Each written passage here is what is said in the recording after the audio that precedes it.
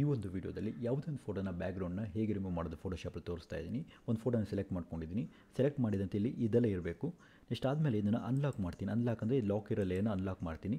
ಅದಾದ ನಂತರ properties properties ಇದ್ದರೆ ಓಕೆ ಇಲ್ಲ ಅಂತಂದರೆ ವಿಂಡೋಸ್ಗೆ ಹೋಗಿ ಅನ್ಸೆಲೆಕ್ಟ್ ಆಗಿರುತ್ತೆ. ಅದನ್ನು ಸೆಲೆಕ್ಟ್ ಮಾಡ್ಕೊಳ್ಳಿ. ಇಲ್ಲಿ ಆಲ್ರೆಡಿ ಸೆಲೆಕ್ಟ್ ಆಗಿದೆ. ಅದರಿಂದ ನಾನು ಇನ್ನೂ ಮಾಡೋಕ್ಕೋಗಲ್ಲ ಅದರಲ್ಲಿ ಇಲ್ಲಿ ಇಲ್ಲೊಂದು ಸಲ ಇಲ್ಲೊಂದು ಕ್ಲಿಕ್ ಮಾಡಿ. ಕ್ಲಿಕ್ ಮಾಡಿದ ನಂತರ ಈ ಒಂದು ಡ್ರ್ಯಾಗ್ನ ಇಲ್ಲಿ ತೊಗೊಂಡು ಪ್ರಾಪರ್ಟೀಸ್ ಕೆಳಗಡೆ ಇದ್ದಾಗ. ರಿಮೂವ್ ಬ್ಯಾಗ್ರೌಂಡ್ ಅಕಸ್ಮಾತ್ ಇದು ಈ ಕಡೆ ಬಂದರೆ ಇದು ಹೋಗ್ಬಿಡುತ್ತೆ. ಅದಕ್ಕೆ ಇದು ಸೆಲೆಕ್ಟ್ ಮಾಡ್ಕೊಂಡಾಗ ನಿಮಗೆ ಆಪ್ಷನ್ನು ಬರುತ್ತೆ. ರಿಮೂವ್ ಬ್ಯಾಗ್ರೌಂಡ್ನ ಕ್ಲಿಕ್ ಮಾಡಿ. ಇದು ಕ್ಲಿಕ್ ಮಾಡಿದಂಥ ನಂತರ ಬ್ಯಾಕ್ಗ್ರೌಂಡು ರಿಮೂವ್ ಆಗುತ್ತೆ. ಒಂದು ಸ್ವಲ್ಪ ಟೈಮ್ ತೊಗೊಳುತ್ತೆ. ಒಂದು ಫ್ರ್ಯಾಕ್ಷನ್ ಆಫ್ ಸೆಕೆಂಡಲ್ಲಿ ಇದು ರಿಮೂವ್ ಆಗುತ್ತೆ ನೋಡಿ, ಈಗ ರಿಮೂವ್ ಆಯಿತು. ನಿಮಗೆ ಯಾವುದು ಬೇರೆ ಬ್ಯಾಕ್ಗ್ರೌಂಡ್ ಬೇಕು ಅಂತಂದರೆ ಫಾರ್ ಎಕ್ಸಾಂಪಲ್ ಇಲ್ಲಿ ಇದೆಯಲ್ಲ ಇದು. ಇದನ್ನು ಲೇಯರ್ ಕ್ರಿಯೇಟ್ ನ್ಯೂ ಲೇಯರ್ ಮಾಡ್ಕೊಳ್ಳಿ. ಇದನ್ನು ಸ್ವಲ್ಪ ಕೆಳಗಡೆ ಬಂದರೆ, ಯಾಕಂದರೆ ಒಂದು ಲೇಯರ್ನ ಇನ್ನೊಂದು ಲೇಯರ್ ತಂದರೆ ಅದನ್ನು ಹಿಂದೆ ಹೋಗುತ್ತೆ.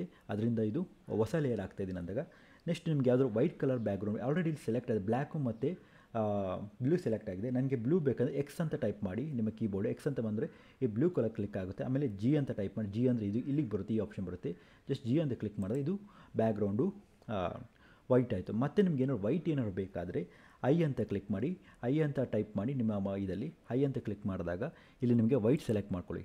ಇಲ್ಲಿ ನಿಮಗೆ ಕೆಳಗಡೆ ಇನ್ನೊಂದು ಬ್ಯಾಗ್ರೌಂಡ್ ಬಂತು. ಮತ್ತು ಇದು ಎಕ್ಸ್ಚೇಂಜ್ ಮಾಡ್ಕೊಳ್ಳೋಕ್ಕೆ ನಿಮ್ಮ ಒಂದು ಕೀಬೋರ್ಡ್ ಎಕ್ಸ್ ಅಂತ ಟೈಪ್ ಮಾಡಿ. ಎಕ್ಸ್ ಅಂತ ಇದು ಮಾಡಿದ್ರೆ ಕಲರ್ ಎಕ್ಸ್ಚೇಂಜ್ ಆಗ್ತಿರುತ್ತೆ ಅಷ್ಟೇ ನನಗೆ ವೈಟ್ ಬ್ಯಾಗ್ರೌಂಡ್ ಬೇಕಾಗಿರಿಂದ ಇದು ವೈಟ್ ಬ್ಯಾಗ್ರೌಂಡ್ ಸೆಟ್ ಆಯಿತು. ಮತ್ತು ಜಿ ಅಂತ ಇದು ಮಾಡಿ ನಾನು ಶಾರ್ಟ್ಕಟ್ಗಳು ಹೇಳ್ತಾ ಇದ್ದೀನಿ ಅಷ್ಟೇ.